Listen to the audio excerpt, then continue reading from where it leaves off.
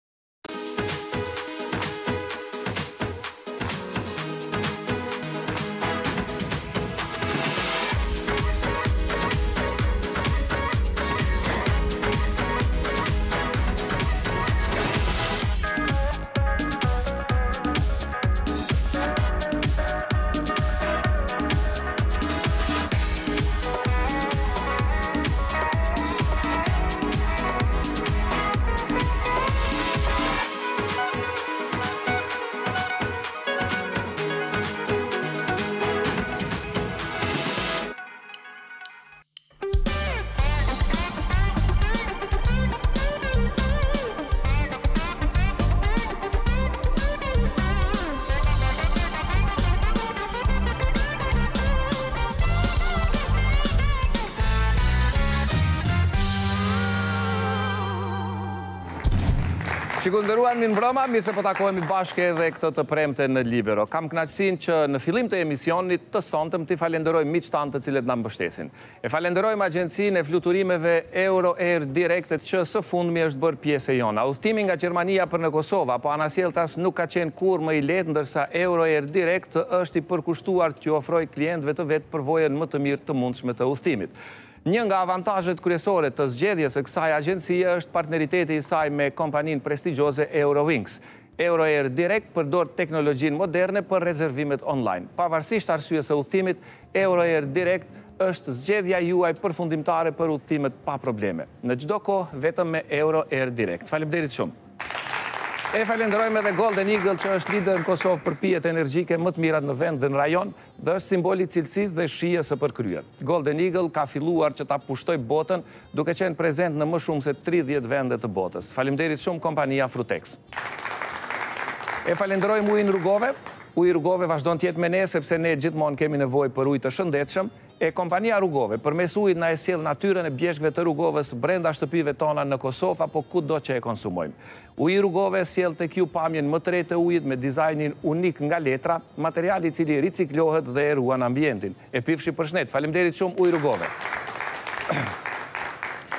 E falenderojmë edhe UPay Card që është kartelë prepaid Mastercard pa llogari bankare, pa mirëmbajtje mujore, pa provizion. Përdoret për blerjet në çdo pos, si dhe për blerjet online brenda dhe jashtë Kosovës. Ndërsa ju, duke blerë me UPay përfitoni bonus apo cash back sa herë që blini në bizneset të cilat kanë marrëveshje me Western Union. Faleminderit shumë Western Union.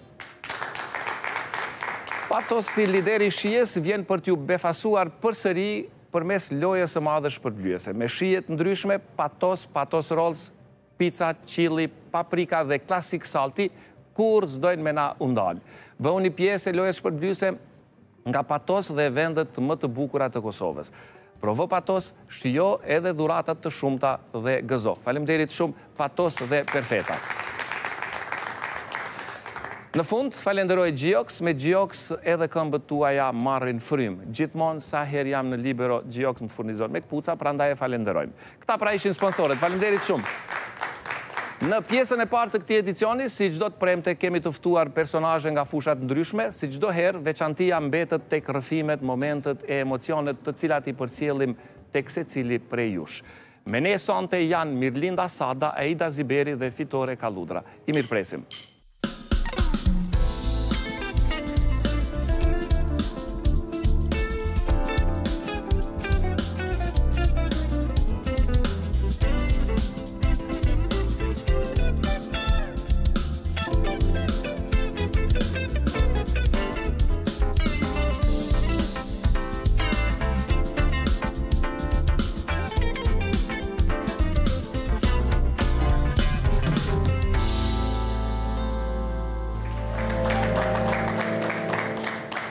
Mirëmbroma, mirë se erdhët, kënaqësi që ju kam në Libero.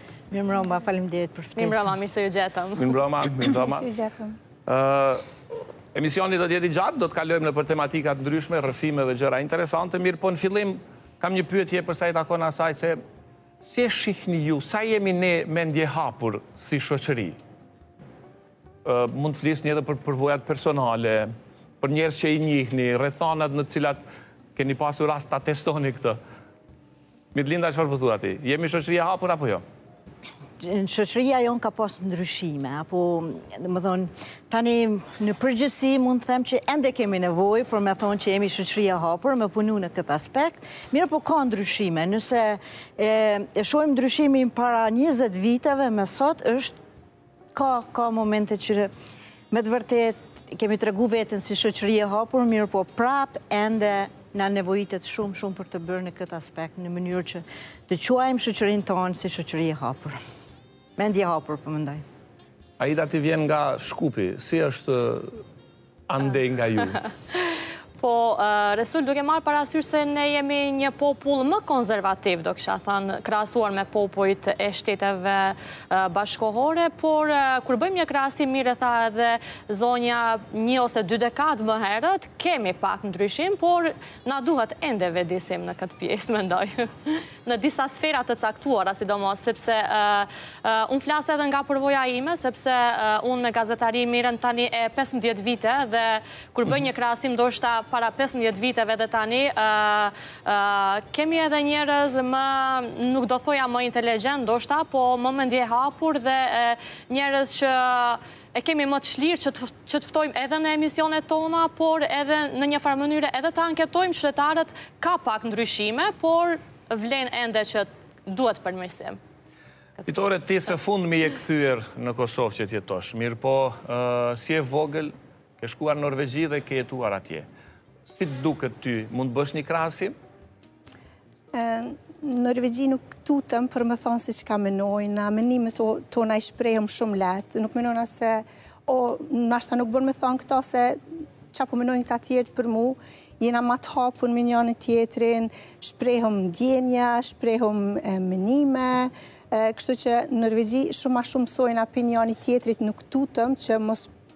Po menojnë diçka keq për neve. Sa e kam vërejt këtu në Kosovë, këtu ma të rezervum njerëzit, mhm. ma nuk shprehen shumë lehtë, se mendojnë secili me ditë ma shumë se tjetri. Në Norvegji u inkuadrojmë krejt bashkë, normal në shoqni edhe në biznes. Kështu që për mu është pak vështirë ky, domethënë, dallimi prej Norvegjisë në Kosovë, po besoj që unë kam me vazhdu me ato që qysh jam rritë në Norvegji, Edhe në Kosovë. Domethënë, ti po vazhdon me i shpreh mendimet tua lirisht. Po. Norvegjeze. Norvegjeze. Po. Një norvegjeze që jeton në Prishtinë. Domethënë, shumë aspekt interesant. Tha atje, nuk kemi frikë. Ndërsa këtu, frikësohemi nga ajo çfarë po thonë të tjerët. Mhm. është një lloj paragjykimi dhe stigma. Po jo? Stigmatizim. Si të duket, si ta tejkalojmë këtë? Unë e thashë edhe më parë që ndryshimet në shoqërinë tonë janë të vërehen, mirëpo prapë na nevojitet punë, fushata, dhe njerëz, është angazhimi i njerëzve që të merren me punë të cilat me të vërtetë ka nevojë me u marrë ky vend, sesa me u marrë me atë çfarë tha dikush ose çfarë tha tjetri. Edhe të jemi më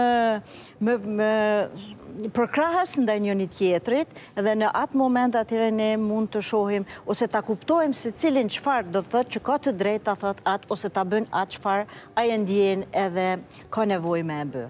Edhe kur ne fillojmë me i pranu të gjithë njëjtë edhe të ketë një gjithëpërfshirje, atëherë unë kujtoj që Do të ndryshojmë edhe ne si shoqëri edhe do të shkojmë domethënë hapave të shoqërive tjera të zhvilluara në Evropë.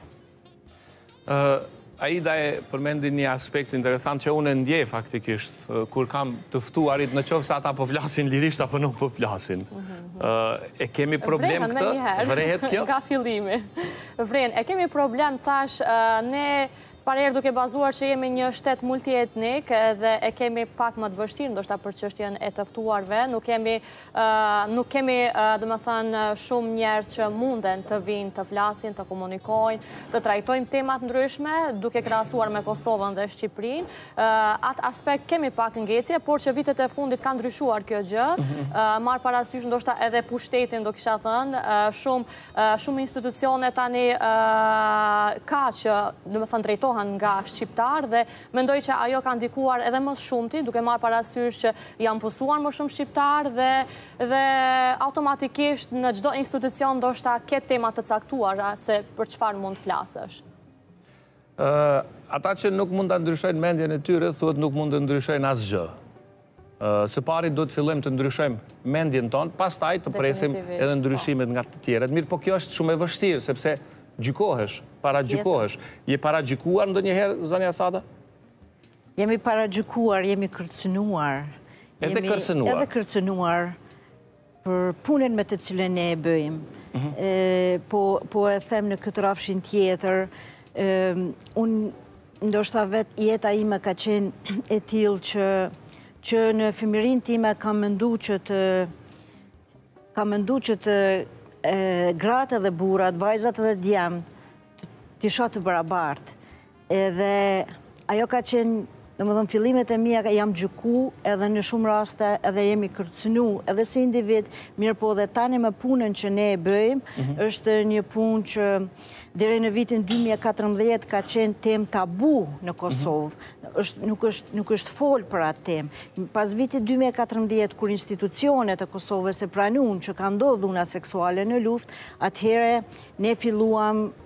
Domethënë, u pranu si temë, si term, mirëpo ende stigma është aq e madhe sa nuk jemi të lirë kudo që të flasim. Për këtë do të fokusohemi pak më vonë konkretisht dhe do të flasim më në detaje.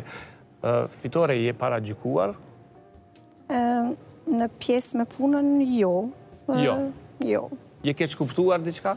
Po, normal, keqkuptime ndodhin tën kohën, por unë jam me atë mendjen që klienti për mu është zot, mhm.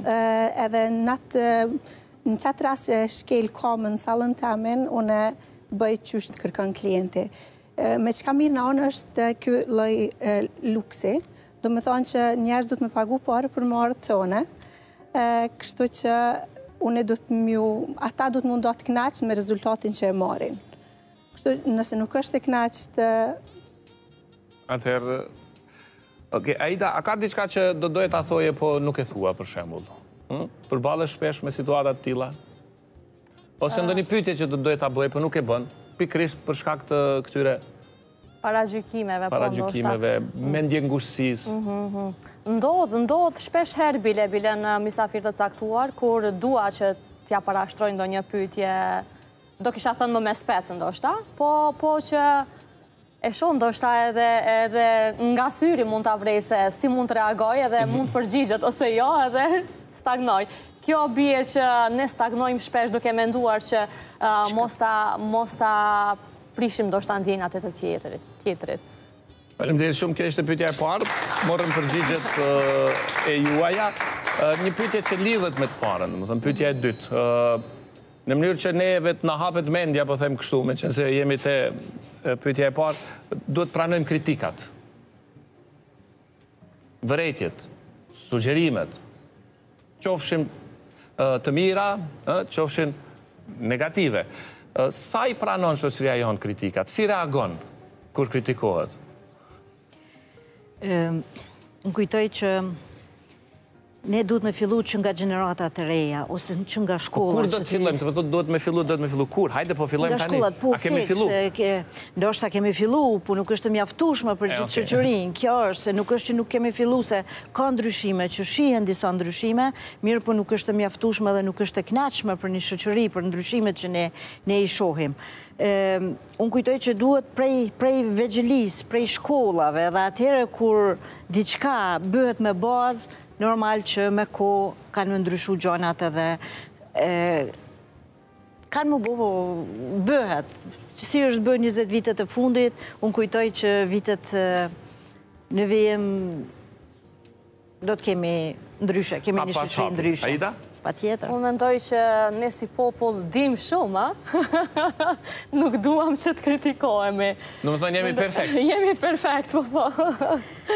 Unë personalisht, unë më shumë, më mirë ndjehem kur kritikohem se sa kur marr komplimente. Beso apo jo, domethënë se përderisa dikush më kritikon, e di që ne themi ma don të mirën.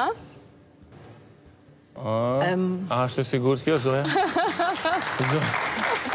Më shta, dhe me të bërë nervoz. Mirëpo kur të kritikon para syve, dhe jo në prani të shumë njerëzve.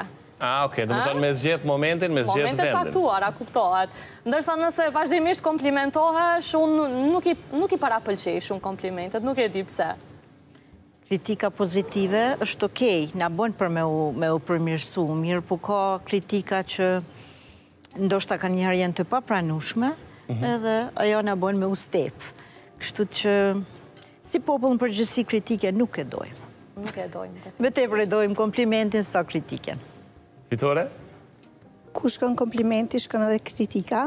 Kështu që si popull shqiptarët janë shumë inteligjentë, po pak kritikat e kom vrejtë që nuk po mujnë me i marrë. Po si qysh edhe u cek, kur ta jep dikush një kritikë, merre se po ta don të mirën, edhe po don me të mësu ma shumë. Ashtu ju thom edhe unë studentëve të mija, kur të kritikoj dije se unë po ta du të mirën, po du ti me arrit ma shumë. Nëse unë veç ta bëj rrafsh, të thom shumë mirë, domethënë ti rrin në të njëjtin nivel. Kështu që kritikat janë shumë me rëndësi. Si po veç, kush ta bënë kritikën? Po, ka, ka domethënie kush ta bën kritikën. Sepse nuk është problemi me ja bo kritikën profesori studentit dhe ai ta akceptoj. Problemi po. është se këtu ta bën kritikën dikush që po. lidhje s'ka me atë punë. Fiks. Kjo është më rëndësishmja bile. Nëse pranon kritikë nga, nga një njeri që ka kaluar më shumë se ti, ose ka etapa të ndryshme, jo vetëm në profesion, por edhe në jetë private dhe gjithçka tjetër, Unë mendoj që duhet t'i marrim si shumë të rëndësishme, bile.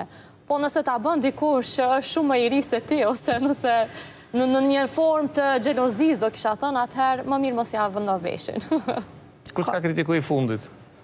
Për punën në televizion. Oh. Përveç bashkëshortit. Bashkëshorti hiç më larg se sot. Okej. Okay.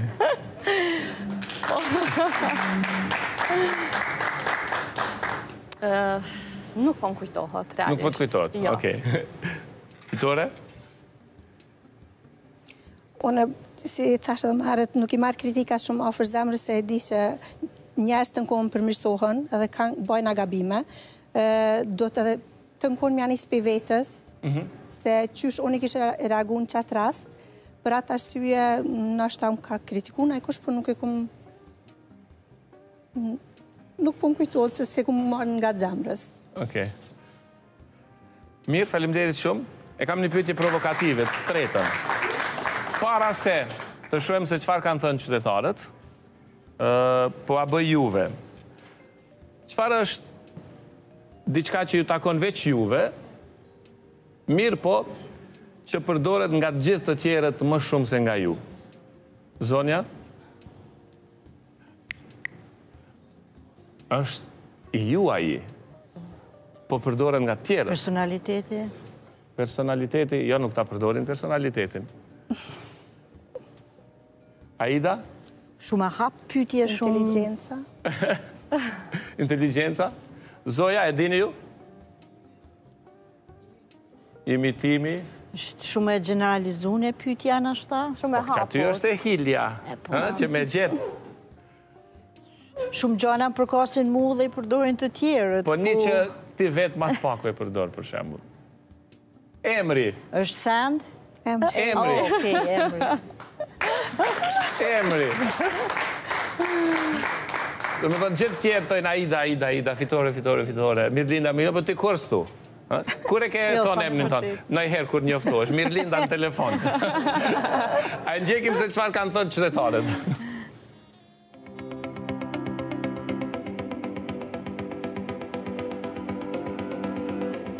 Çka është diçka që të takon vetëm ty, por përdoret nga të tjerët më shumë sesa nga ti?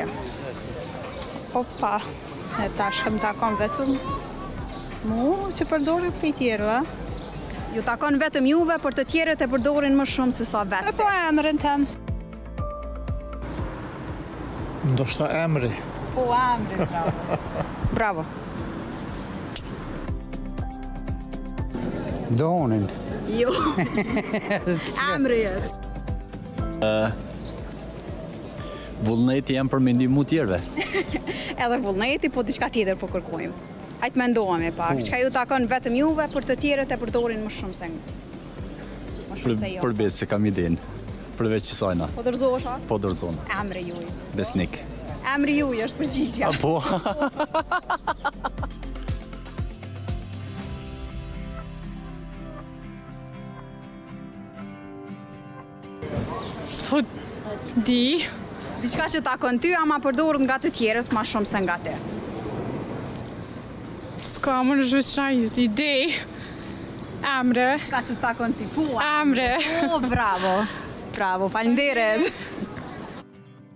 S'më bjen ndërmend hiç.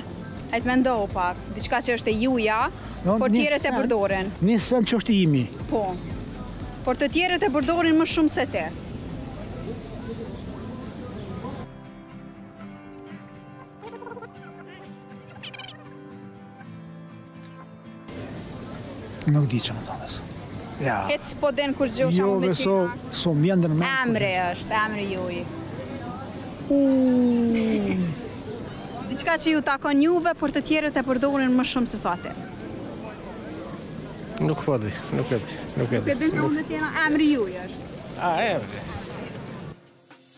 Emri.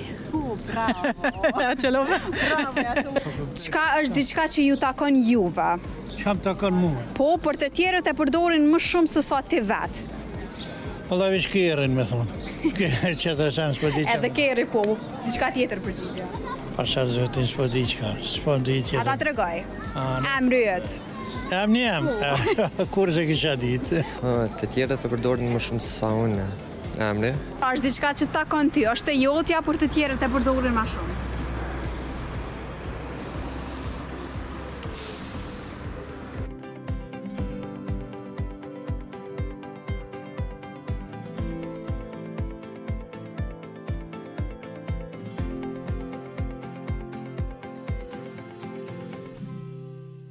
Është momenti që ta ftoj në skenë, në fakt tek pjesa e bendit për të interpretuar një këngë të mrekullueshme, një mike tonën e cila ka ardhur ekskluzivisht sonte në Libero. Është fjala për Donika Rushitin. Donik, skena për ty.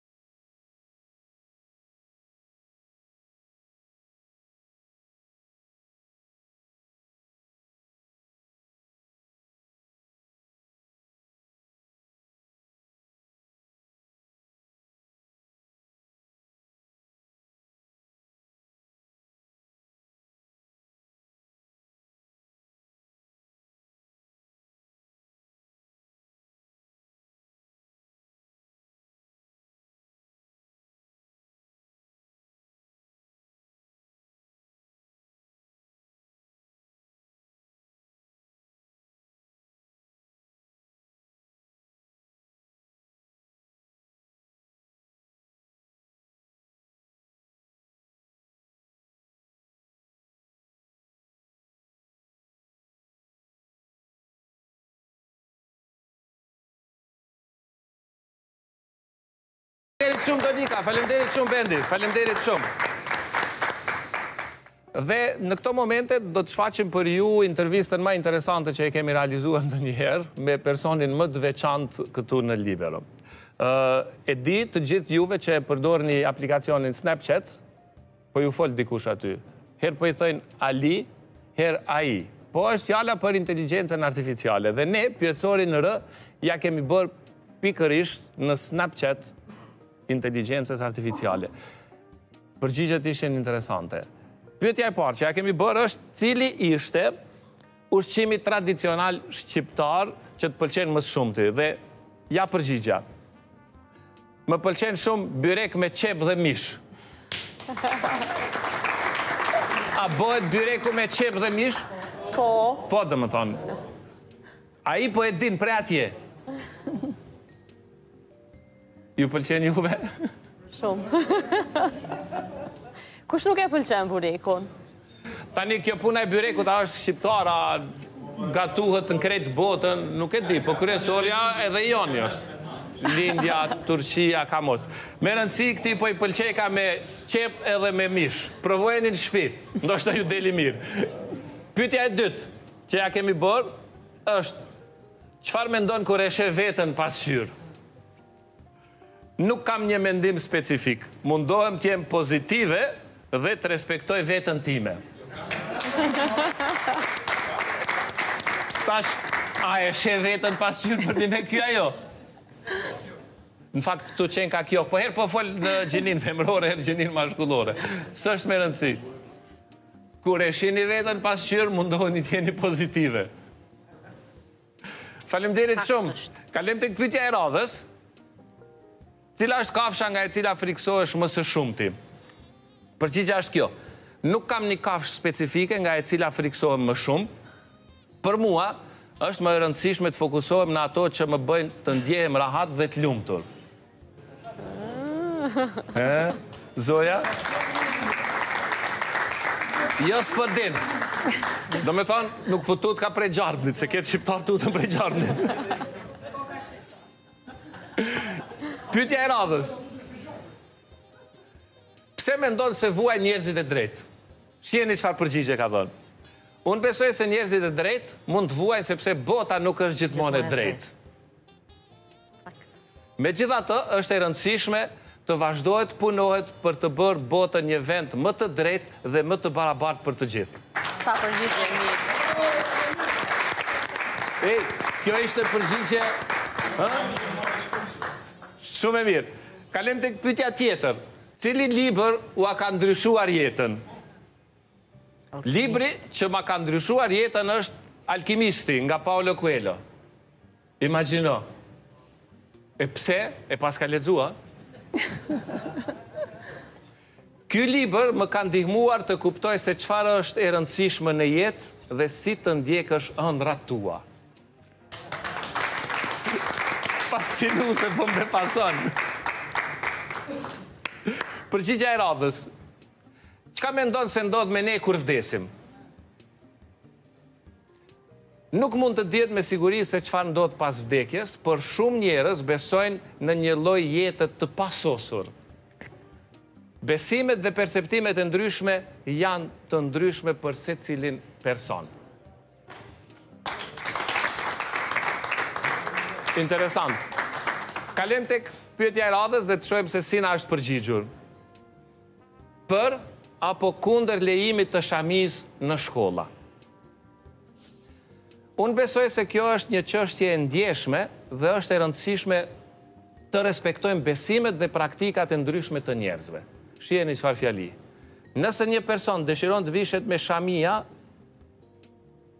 me shamia e tij, me shami në shkollë, atëherë ata duhet të kenë të drejtën ta bëjnë këtë. Domethënë, AI apo Ali, Aliu që po i thënë, ua jep të drejtën. Kalojmë te pyetja e radhës, e, kjo qenka interesant.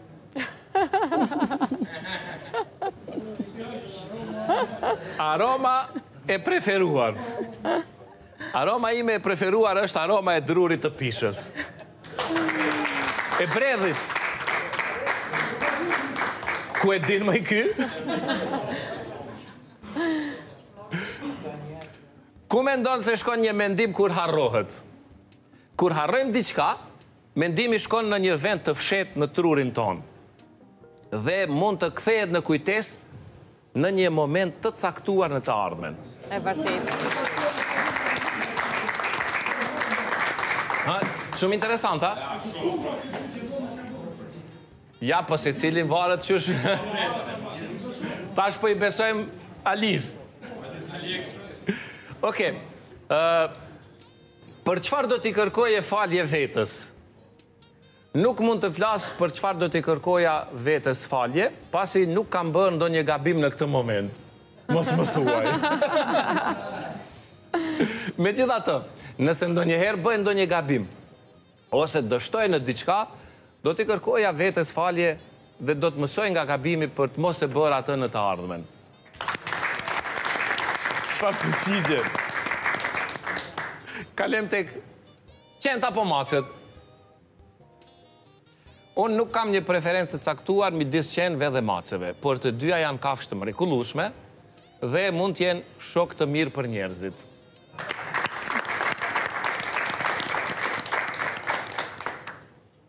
E tash, cila është këshilla më e bukur që e ke marrë nga nëna? A thu ka nënë more? Nuk kam një nënë të vërtetë. Shih çka thotë, nuk kam një nënë të vërtetë, por mendimi im është që këshilla më e mirë që mund të marrim nga nënat tona është të mos ndalojmë kurrë të mësojmë dhe të rritemi si njerëz.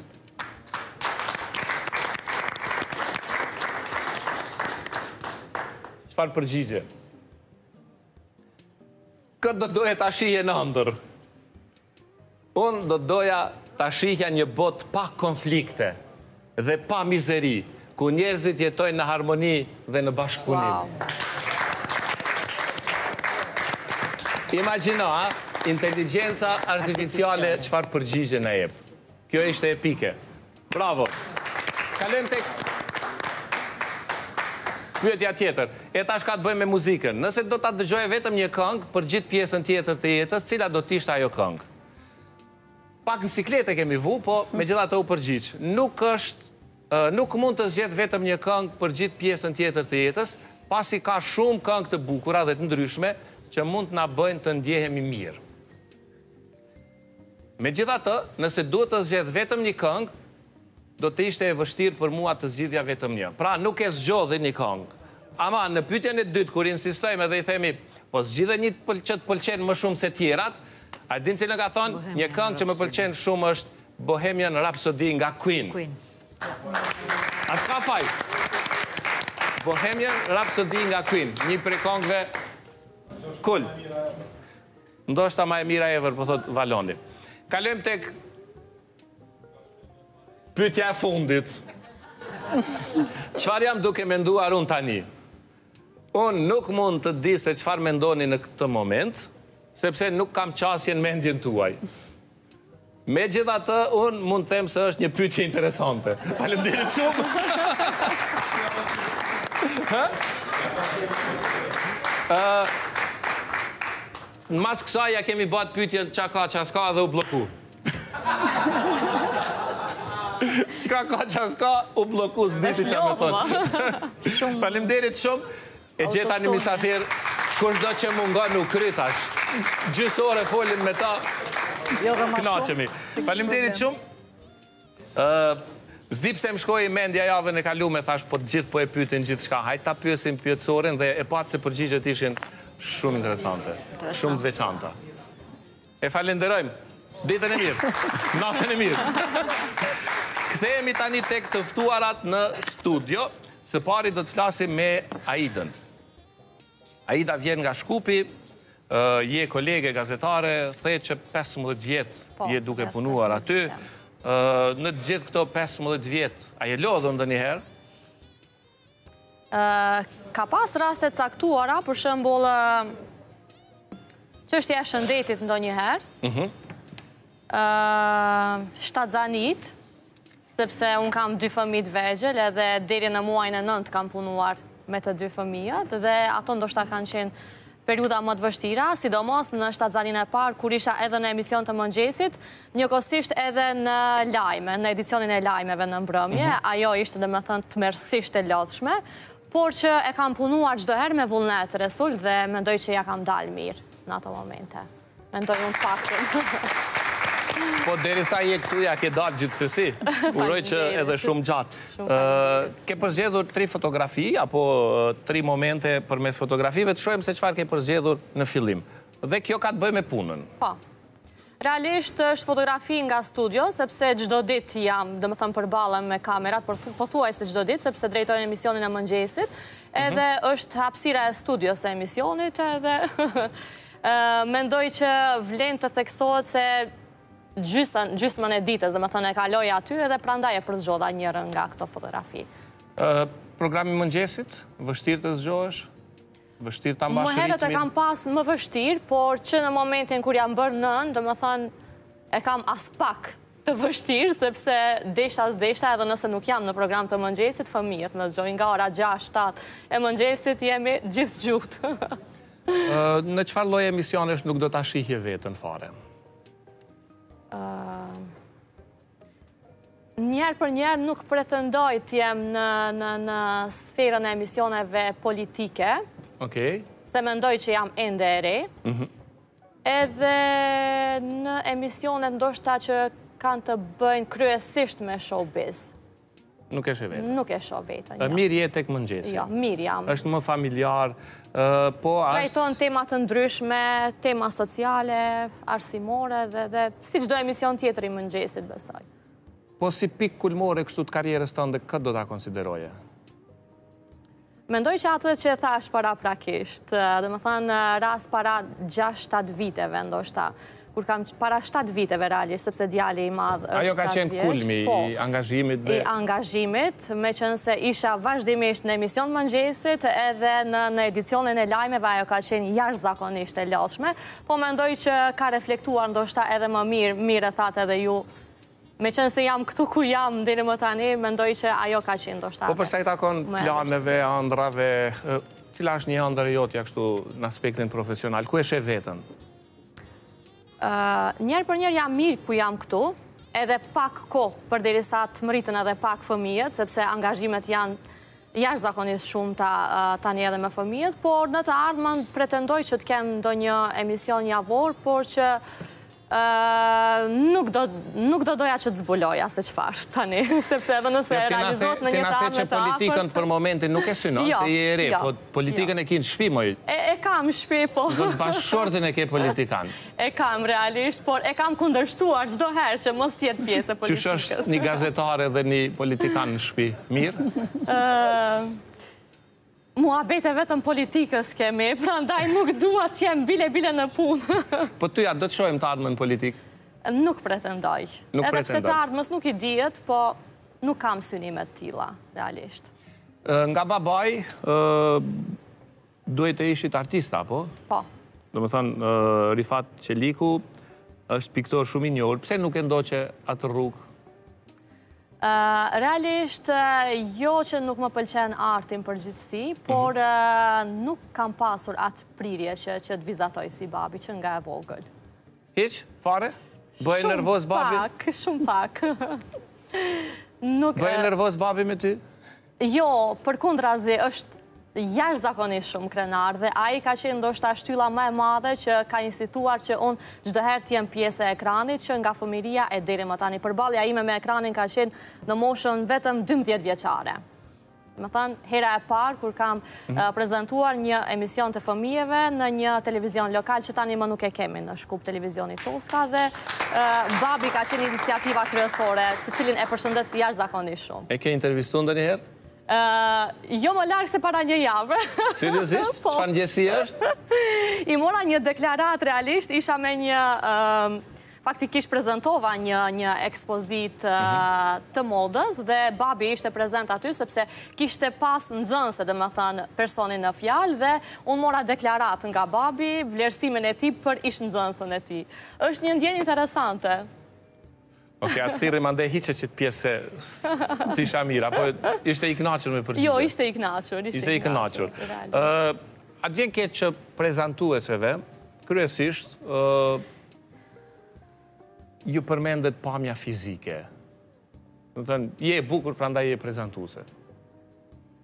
Realisht, për fat të keq, paragjykohemi për këtë gjë, jo vetëm në Maqedoni, po besoj në i gjithë populli jonë, paragjykohet për këtë gjë, po më e rëndësishmja është se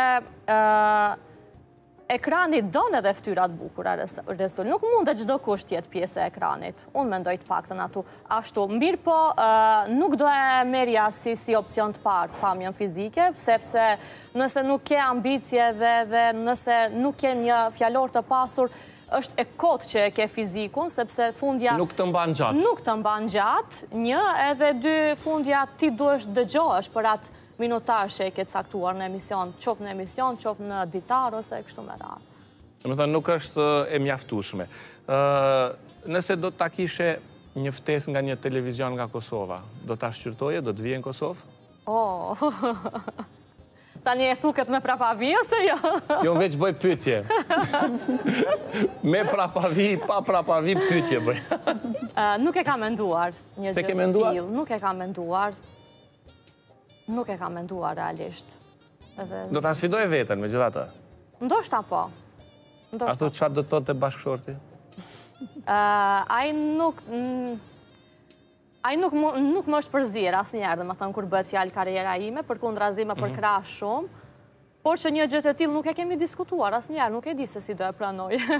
Okej, sonte temë diskutimi në shpinë tuaj. Po shkoj në Kosovë. Kalojmë tek fotografia tjetër sepse folëm për profesionin. Përsëri është profesioni, po momente të tjera, çfarë thonë këto fotografi? Kjo fotografi realisht është fotografi në skenë, momente ngjarje kur kam prezantuar, këtu është për shembull Fondacioni Albis, është fondacion Në këtë moment ka shpërndarë dikun rreth 200 bursa për studentë të dalluar dhe mhm. për mua ka qenë një privilegj jashtëzakonisht i madhë që të ndaj këto bursa për këta studentë, sepse duke ditur që një student është më nevojtari, ai që ka nevojë që të ketë të paktën një bursë, të gjithë kemi qenë studentë dhe e dimë këtë pjesë dhe jam ndjerë jashtëzakonisht e privilegjuar në këtë mbrëmje dhe prandaj vendosa që këtë fotografi ta shoqëroj në këtë mes.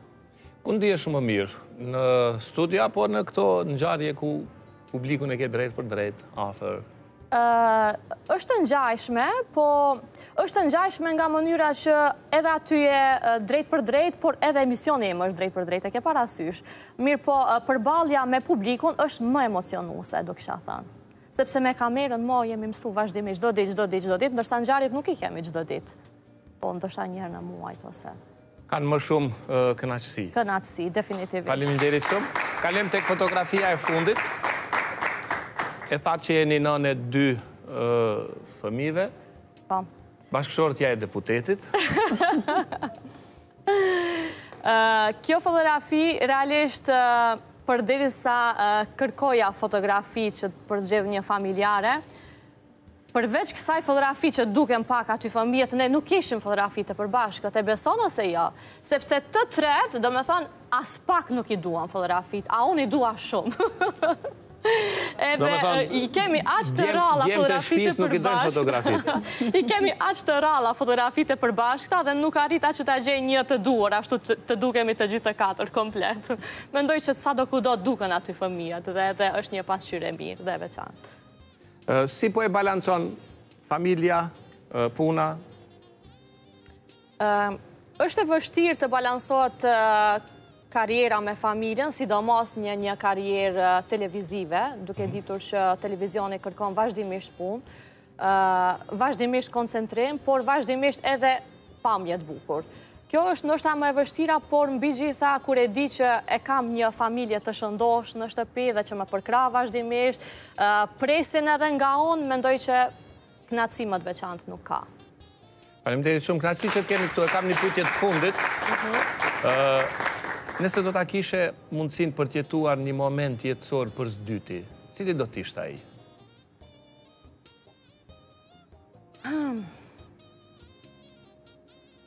Nuk është kollaj me u përgjigj, kollaj është me bo pyetje. E vërtetë. Shijoje. Nëse nuk, nëse do ta kishe? Nëse do ta kishe. Një moment. Që do doje ta jetoje përsëri, për së dyti, një moment të bukur natyrisht. Cili do të ishte ai moment? Ndoshta lindja e fëmijëve. Moment më të bukur s'besoj që mund të ketë ndonjë nënë, por që nuk mund të them se nuk dua që të kem prapë fëmijë, janë ende të vegjël dhe ndoshta lodhja që ka bërë vazhdimisht janë shumë afër njëri me tjetrin, Njëherë për njëherë nuk dua që të të bëhem prapë nënë, por që në një të ardhme të afërt, ose të largët, nuk e di, moment më të veçantë s'besoj që mund të ketë për një ndonjë femër. Falemderit shumë, falemderit për përgjigjet. Do të kalojmë tani tek Fitorja. Fitorja historinë e ka shumë interesante. Ka shkuar në Norvegji, por së fundmi ka vendosur që të kthehet. Me gjithë mend e ki? Edhe ma shumë, se gjithë mend. Edhe ma shumë. Po. Si e kujton vetën kur shkove në Norvegji? Si ndodhi, çfarë ndodhi? Në fakt, u konë ditëlindje tem, 1999, i kum bo në Ministrë në mars, i kum bo nëntë vite. Atë ditë... Nëntëvjeçare? Po. Atë ditë ishte ditëlindja ime dhe u duft me dalë prej Prishtinës, si krejt tjerët që mojme. Edhe jena shku në Stankovec, atje kena nejtë një natë, edhe tani na dul për me shku në Norvegji. Edhe thamë, ok, mas, në fakt, ma s'pari na dul me shku në Amerikë, po e thamë jo, kur na dul për Norvegji, tani veç vendosëm me shku në Norvegji, edhe... Një ditë a dy ditë ma vonë, tani veç shkum në Norvegji. Komplet familja shkuat? Komplet familja, po. U vendosët në Norvegji? Norvegji. Si u përshtatët, si e përjetove atë? Vendet janë shumë ndryshme, edhe unë si fmi e kum pas shumë të vështirë se gjatë kohës prej Prishtinës deri në Stankovec kena pas shumë ngjarje t'ndryshme që edhe ende i kujtoj. Mhm. Qato pak Ma kanë bo ma të vështirë m'u adaptu si fmi në Norvegji prej fillimit, por norvegjez, Norvegjia është shtet i fortë, sikur krejt që e din, na kanë ofru ndihmë, psikolog me krejt, edhe ju doke që ngjarja jem si nëntëvjeçare shumë interesante, edhe në mhm. fakt më kanë ofru me shkru libër për ça kum përjetu unë, normal, Tjerë ça kanë përjetu, kanë përjetu ndoshta ma shumë se sa unë, po qato foto që i kum pasë unë në kry, ata dojshin unë me i qitë në letër. Po nuk kum mujtë me përballu ata dhe i kum thonë jo, ma përpara po du po me me jetu sikur një fmi nëntëvjeçar, edhe mu me ja fillu me bo shoqni, me në shkollë, me mësu gjuhën, Kështu që prej fillimit, kur jena shku atje, e kum ditë që është shtet krejt ndryshe, mhm. po tonë kohën kum nejtë veç me norvegjezë, që me ja fillu me marrë kulturën, me mësu gjuhën, edhe prej atëhershit deri tash, jum ka Norvegji, e kum kry shkollën. Po bënë 24 vjet po i bie, po. prej 99-ës. Po, si fillove punën? Ne i shoqërojmë këtë edhe me fotografi, sigurisht. Po. Si fillove punën për cilën njihësh ti? Në fakt, gjithë jetën kum pas qef me kanë motër medicinale. Kum pas dëshirë me punu me njerëz. Është se tanë kohën kam qef me dëgju histori, me dëgju se çka kanë përjetu njerëz, edhe unë si person mësoj shumë, ma shumë mësoj nga njerëz që kanë përjetu edhe që e dinë, sesa nëse lexoj naj libër ose ndonjë gjë. Fillova sikur shihet në foton e parë aty në dhomë, në shpi. Pra në shpi? Në shpi, po. Nuk kum ditë asgjë, para se m'i marrë, para se m'i ba kurset, ia fillojsha me, me ushtru në familjarët, ma s'shumti kum ushtru në mamin, ajo u kanë mas, që e kum përdorë n'gjithçka, për m'i mësu senet. Tani i kum marrë trajnimet çka duhen. Të dëgjonte mami? Po. Besonte në? Asnjëherë s'më ka thonë jo. Me çka fillove? Me vetulla. Me vetulla? Po. Edhe pa dit, tash unë jam njeri shumë impulsiv, çka të më vjen n'kry, kam qef menjëherë me shprej, n'atë për së atë. E këto sene tjera çka janë me letra, dokumenta, mirret burri. A unë ideat, unë i shprehi edhe kanë me ndodhë. Çka ka, qysh është puna, deri te finalizimi mirret burri. Kështu që ideja jem, okej, po du me ba vetlla edhe ia fillova mamit me ia ba vetllat edhe ia prisha ia hoqa ma shumë sesa që duhet. Hajt tha çika jem, s'ka gajle, hera parë, duhet me mësu në dikan. Okej, edhe vazhdova. Tani fillova me marrë trajnimet.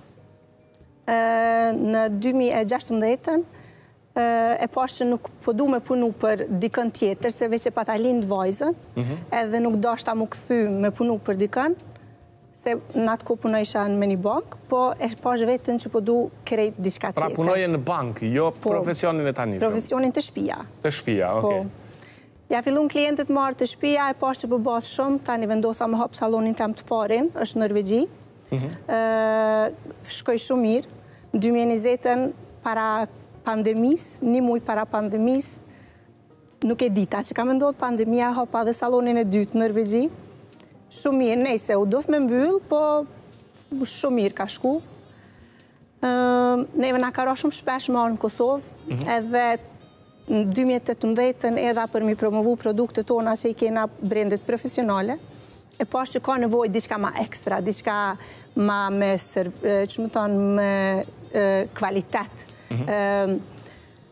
Edhe pej 2018 jena kanë n'treg me trajnime edhe produkte. Oke, kalojmë tek fotografia e radhës, sepse i ka disa fotografi që do të na i komentosh. Mhm. Janë çmime? Po. Trajnime? Çfarë po. janë këto? Këto janë çmime që unë i kom garu për qerpikë, jam mësuse internacionale për qerpikë edhe vetulla. Mhm. Kom garu tash për edhe për me këqyrë se ku jam, në çfarë niveli jam. Kam fitu tri çmime, një në Norvegji, dy në Angli për internacional. I kam fitu tre çmime. Domethënë gara ndërkombëtare në të cilat ti vlerësohesh. Dhe, kalojmë te rendi i fundit, do ta shohim se ndër të tjera, kush është ky personi i dytë këtu? Jam trajnu nga Makeup by Mario, me siguri shumica e njohin. Jo, për mu është njësoj, veç ata që merren me këtë punë.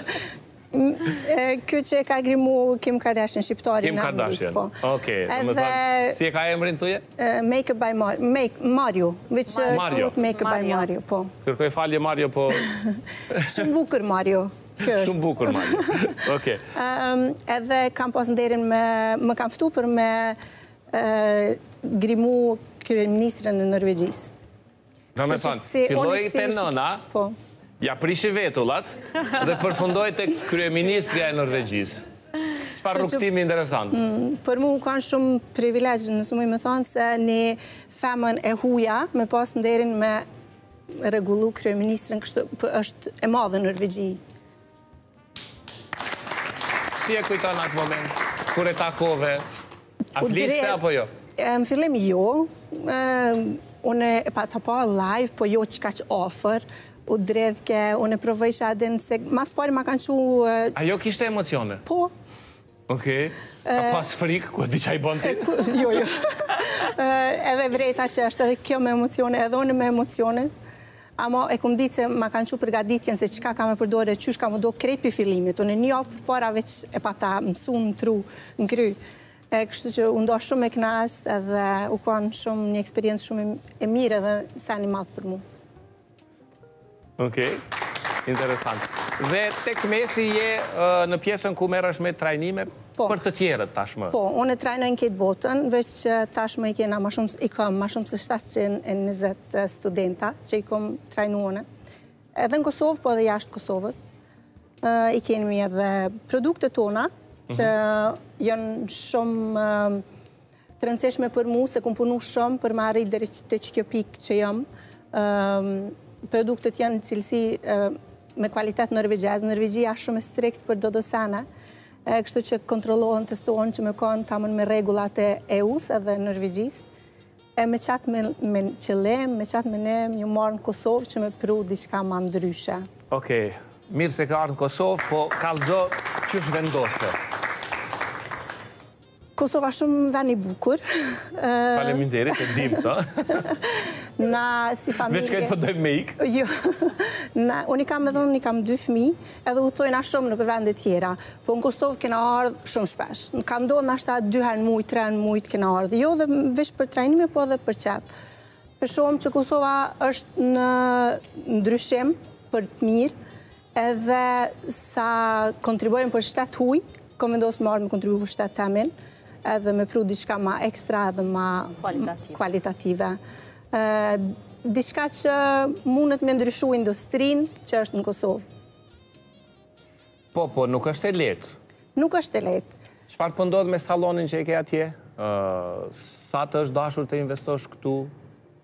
Salonet që janë atje ato veç vazhdojnë, normal unë duhet me udhtu ma shpesh për me shku mi vizitu, po ajo është gjë që dohet m'u ba, secili njeri për me arri diçka duhet me sakrifiku diçka për me ardhë te qaj nivel. Kështu që normal që dohet me investu, mhm. kemi investu shumë, po me kohën ia vlen. Edhe ma mirë është me hapa të Kadalë edhe me hapa të sigurt, sesa me shku sa ma shpejt. Kështu që për mu, ja vlen veç që jom ardhë në Kosovë, e kom hapë salonin. Je e sigurt se nuk do t'ikësh nga Kosova më? Jo, nuk e di tash njeri, gjithçka i ndodhë n'jetë, po... A do të vish me burrin, me fëmijët, me të gjithë? Po, fëmijën, djalin e kom në kopsht, vajza është në shkollë, ka me ja fillu n'shkollë prej shtatorit këtu në Kosovë, Edhe me vendbanim kemi vendos me nejt në Kosovë. Çfarë vendimi. Domethënë është lajm i mirë, prandaj pyetjet t'i bëj kaq të drejtpërdrejta që të marrin vesh gjithë ata që duan të ikin. Faleminderit shumë, Normal, krejt dojnë me ik, po me ne, pa marë parasysh, herdokurdo ti, dohet m'u kthy në vendin tan. Se krejt, si në luft, për shembull, kena ik me një mendim që ka m'u ba mirë, me dalë jashtë, me... me ba, me pas mundësin që m'u kthy prapë në Kosovë dhe me investu prapë në shtetin tonë, që minimu që shteti m'u ngritë ma lartë. Si ka nisur puna në Kosovë? Në 2018, si tregova erdha veç për me pa qysh është biznisi, mi promovu produktet tona edhe pashë që këtu dohet pak me ndërhy. Në Norvegji janë rregulla, dohet m'ju përmbajt rregullave. Secili tretman që e bojna, e kena një protokoll, nëse thuhet shqip, që dohet m'ju përmbajt qysh do me ja bo pastrimin, me i dezinfektu mjetet, me i dezinfektu durt, krejt janë të maru me, krejt janë, që me thanë, listën e kanë secili tretman e ka, qysh do me ju përmbajt edhe tretmanit, po edhe secilit klient. Kështu që pash që nëse ja filloj me majt trajnime, muj pak a shumë me improvizu mënyrën qysh e punojnë, qysh i bojnë qerpikt për shembull, se na mjellim qerpikt, vetullat që i bojnë tatu e tjera, Me trajnime menova që ka marrë pak me ndryshu, edhe e arrita atë qëllim se jo marrë me teorinë e Norvegjisë, se qysh na atje i msojm edhe qysh na vyn atje për me bo qit punë. Ka fillu shumë mirë, tani m'pytshin se kur po vjen me bo, ti me na bo neve tretmane, edhe M'u desht pak me lut burrin për m'u kthy, ma në fund... Ma në fund e ke bind. E binda. Faleminderit shumë që je këtu në Kosovë. Faleminderit. Tani, sigurisht do të donim më shumë raste si ti të vijnë në Kosovë, në shumë sektorë, në shumë biznese, dhe padyshim do të gëzoheshim në qoftë se lulëzon jeta këtu në Kosovë. Faleminderit shumë. Faleminderit.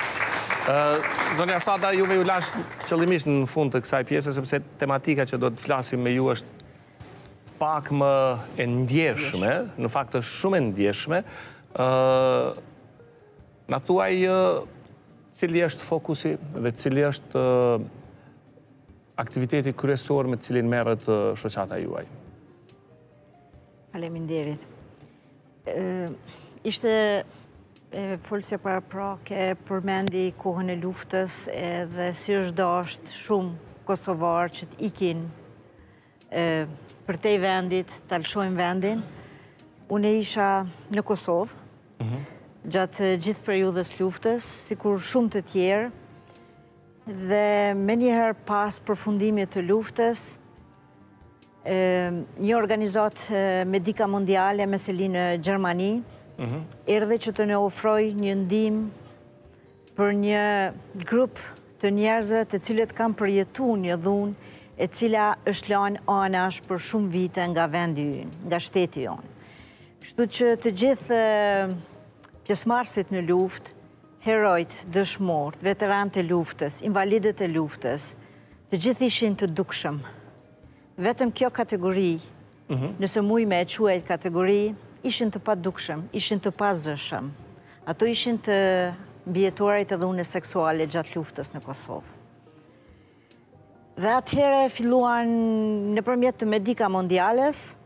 që të ju ofrojmë për shkak se edhe ekspertiza në Kosovë nuk ishte në atë kohë.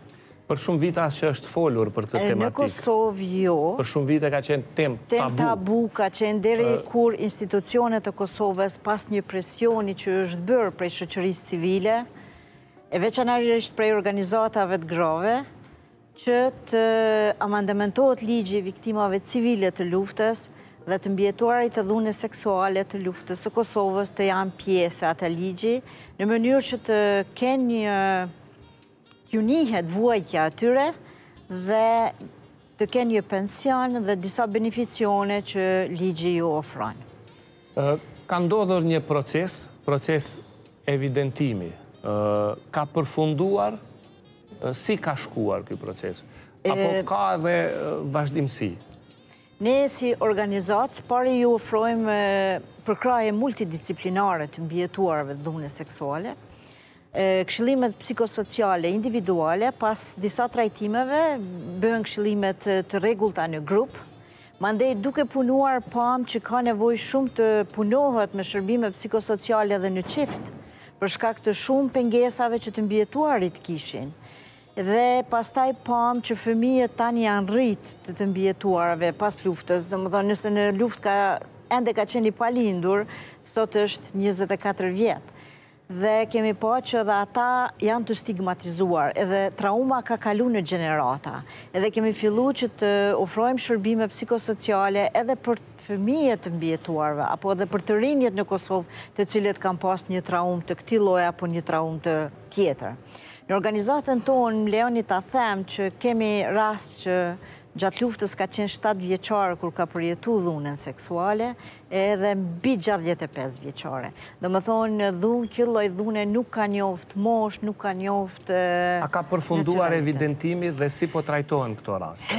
Përpos shërbimeve që ne i ofrojmë si organizatë, përkrahjes multidisciplinare që thashë, psikosociale, shërbimet gjinekologjike, shërbimet juridike, Dhe, pastaj, pas përpunimit të traumës te fuqizimi ekonomik edhe te hapja e bizneseve apo te një te punësimi i tyre, ne kemi punu dhe në anën tjetër të avokimit dhe lobimit te institucionet tona, ku sot të mbijetuarit kanë të drejtë të aplikojnë për një pension dhe për beneficionet të cilat i kanë, Ky ka fillu në vitin 2018 Edhe ka qenë për pesë vjet. Ka qenë një afat kohor pesë vjeçar, po, ku të mbijetuarve u është lejuar që të aplikojnë për pension.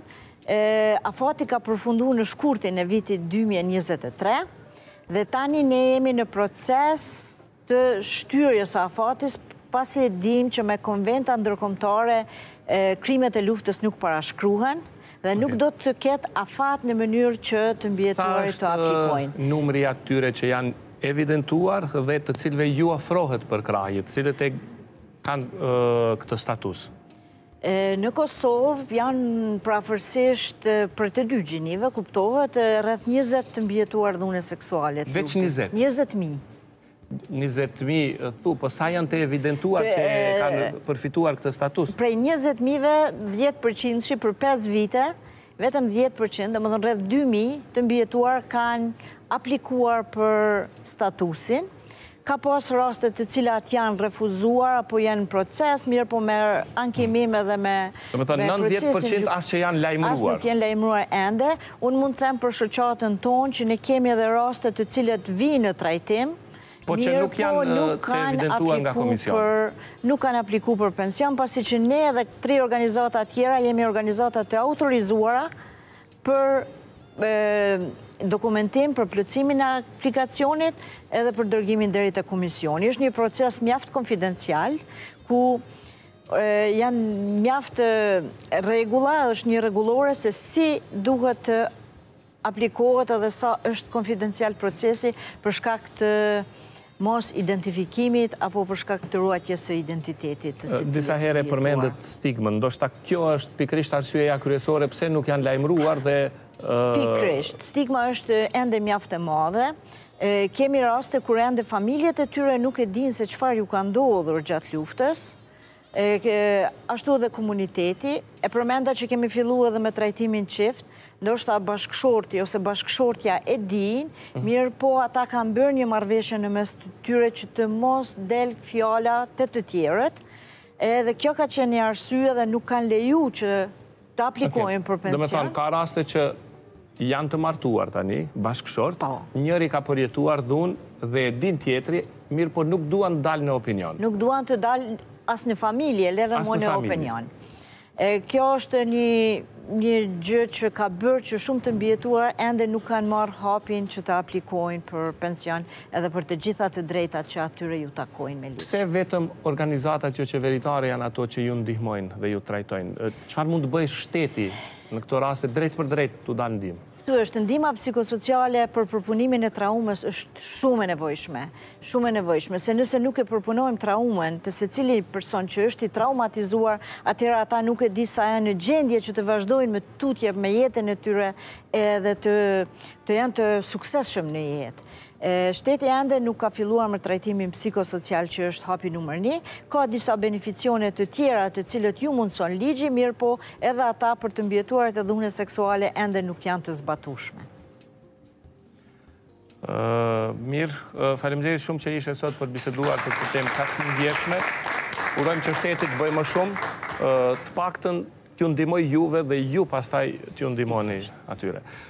Kënaqësi që ju patëm sonte në Libero. Kënaqësi. Faleminderit Aida, faleminderit Fitore, faleminderit Mirlinda. E mbyllim këtë pjesë të parë, kthehemi pas marketingut.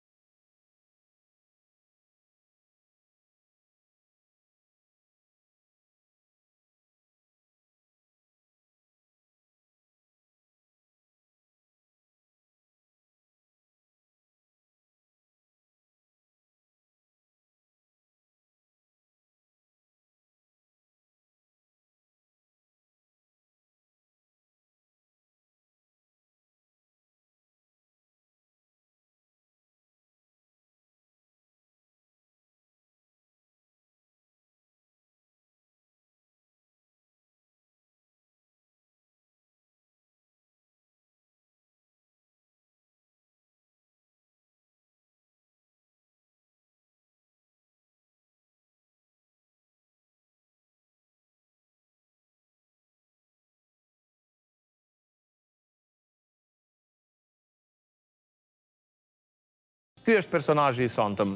Ajo tash e dy dekada ka dhënë kontribut human në fushën e mjekësisë, por edhe të politikës.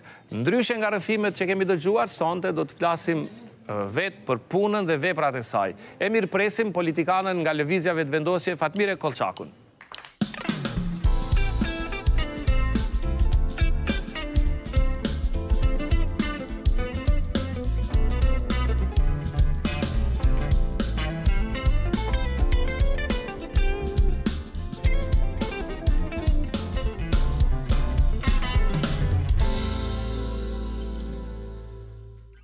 Doktoreshë, mirëmbrama, mirë se erdhe. Mirëmbrama, mirë se ju gjeta.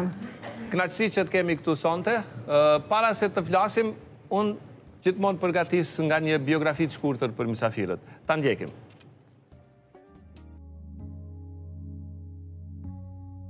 Ka dy profesione që në dukje nuk kanë lidhje me njëra-tjetrën, por Fatmire Mulhaxha Kollçaku i zotëron në mënyrën më të mirë të mundshme. Në të dy punët e saj, edhe në mjekësi, por edhe në politikë, për shumë vite, ka dhënë kontribut të pashoq dhe vazhdon ta bëjë një gjë të tillë. Fatmirja ka përfunduar studimet në Fakultetin e Mjekësisë dhe specializimin në fushën e epidemiologjisë. Karrierën si mjeke e ka filluar në organizatën Nënë Tereza në Prishtinë. Zonja Kollçaku ka kryer shumë trajnime përsa i takon fushës së mjekësisë dhe kjo ia ka mundësuar asaj ta bëjë punën akoma më frytdhënëse si doktoreshë. Kollçaku është deputete nga radhët e Lëvizjes Vetëvendosje, ajo tash e disa mandate është deputete e Kuvendit të Kosovës. si të Komisionit Funksional shqyrtoi Projektligjin numër zero tetë. Ishte kryesuese e Komisionit Parlamentar për Çështje të Sigurisë dhe Mbrojtjes, si dhe ka qenë anëtare e Komisionit për Punë të Jashtme dhe Diasporë, ndërsa tani vazhdon të udhëheqë Komisionin Parlamentar për Shëndetësi dhe Mirëqenie Sociale. ku gjatë aktivitetit të saj tash e dy dekada në politikë ka qenë e angazhuar në veçanti në sektorin e shëndetësisë dhe mirëqenies sociale. Po, po, edhe qytetarët janë fajtorë, se qytetarët me votën e tyre vendosin kush do t'i udhëheqë.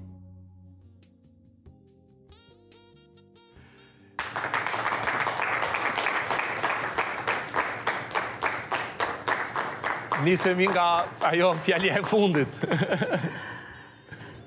Po, kjo fjalia e fundit ka të bëjë vërtet me faktin që në një ditë, caktume, tash qoftë në periudhë 4 vjeçare, 3, 2, apo më shkurt, e me të vërtetë qytetarët kanë një rol shumë të rëndësishëm, dhe këtë e ka tregu edhe fakti që në disa palë zgjedhje ka pas rol diferenca qoftë një, dy apo tri vota. Prandaj, kjo besoj duhet t'i vetëdijesojë qytetarët, gjë që edhe po ndodh në vazhdimësi, mhm. fillimisht që është me rëndësi të dalin të votojnë, dhe pastaj të vendosin për ata që mendojnë që do ta udhëheqin vendin për atë periudhë kohore për të cilën po votohet më së miri.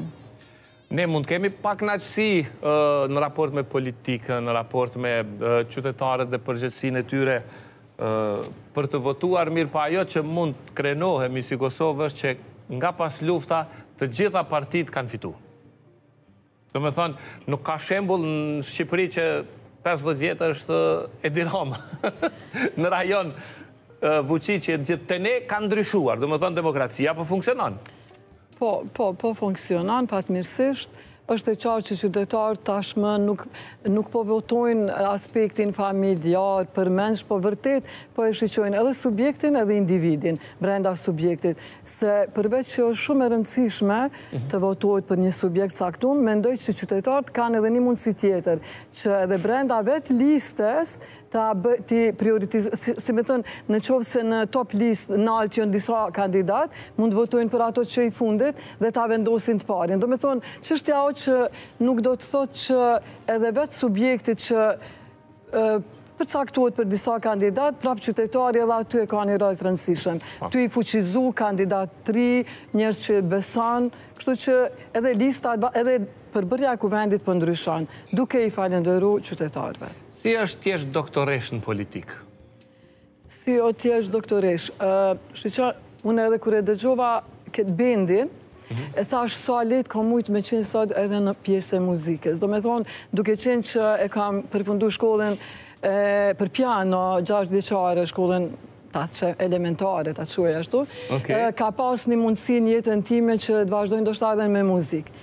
Kjo do të thotë që unë asnjëherë nuk kam qenë thjesht e përcaktuar as për mjekësi, por vazhdimisht rrethanat në jetë kanë qenë të tilla. Dhe je përshtat? Jam përshtat në shëndetësi, apo në mjekësi më ka pëlqy një profil të cilin sot nuk e ushtroj, do të thotë më ka pëlqy psikiatria, po prap rrethanat, fakt fakti që neve na kanë përjashtu nga fakulteti i mjekësisë kohën kur unë isha absolvente, mhm.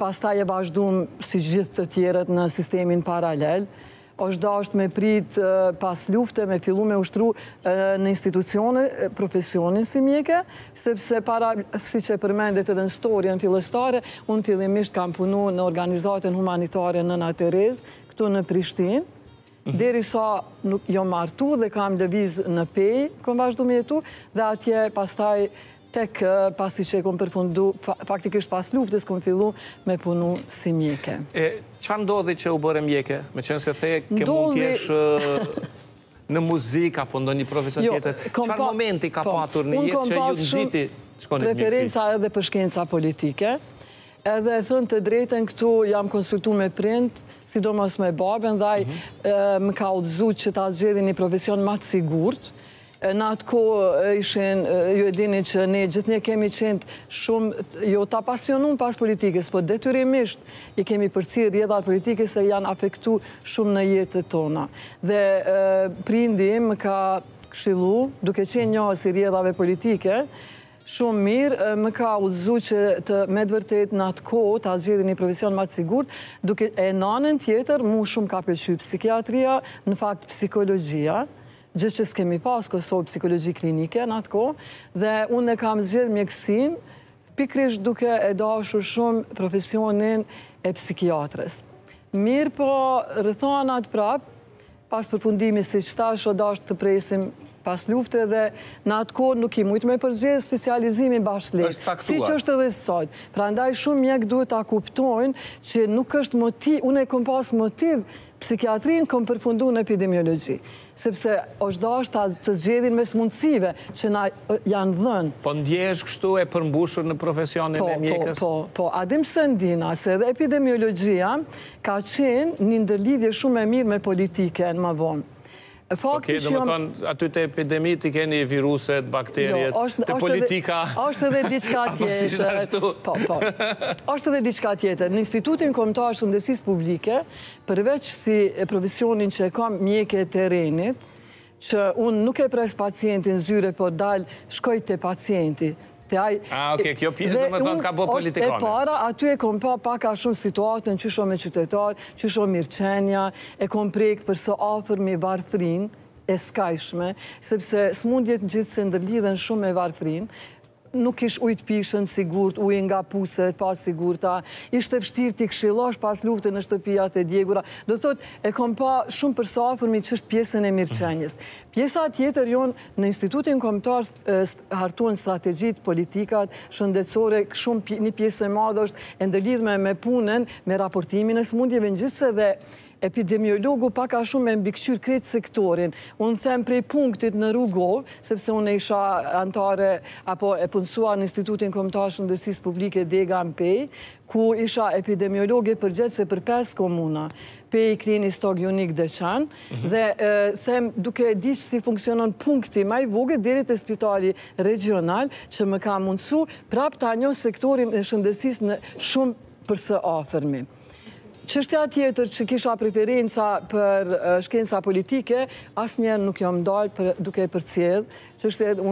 Kur u angazhove për... Edhe situatën politike dhe në një moment të caktum në vitin 2004, Për herë të parë. Kanë qenë miqtë e mi, duke e ditur që unë vazhdimisht i kam përcjellë edhe edhe situatën politike dhe shumë jo aktive në skenë, sepse aktivizmi jem ka qenë përherë, si fmi edhe si adoleshente, ne kemi fillu në ato pjesëmarrja në protesta, ngujimin në hallën, pallatin e sporteve, kur janë nguju minatorët në miniera, gjithnjë, dikur nuk kam qenë gjithnjë në ballë, po në mes sigurt po. Dhe aktivizmi, lufta ndaj padrejtësive që po bën vazhdimisi ndaj popullit tonë, ka qenë një motiv që ne të bëjmë diçka ma tepër, të bëjmë diçka ma shumë. Dhe miqtë e mi që e kanë ditë që unë përveç që jam mjeke, jam edhe, edhe aj, dikush e apasionume, edhe pas kësaj pjesës tjetër, më kanë thënë, është momenti, po formohet një subjekt i ri, dhe ndoshta është momenti që ti t'jesh nga Peja aty,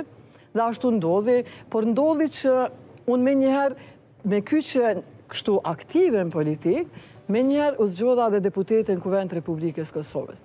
Dhe në një farë mënyre, e krejt karriera ime, gjithë karriera ime është shumë e ndërlidhme, ma shumë se vetë me subjektin politik, është me të qenurit deputete përfaqësuse e qytetarëve pa asnjë dallim.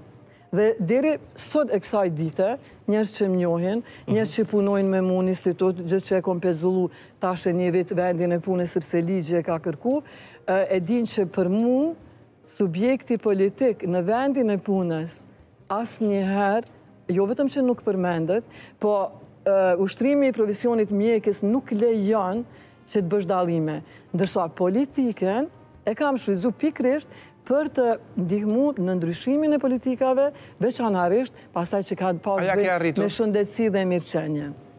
A ia ke arrit? Po shiqo një individ normal që s'i arrin vetëm, po, po asë... Po te ne diku të po shohësh që ka ndryshime. Po Kosova është në një situatë ma të mirë se që kemi qenë para dhe pas luftës.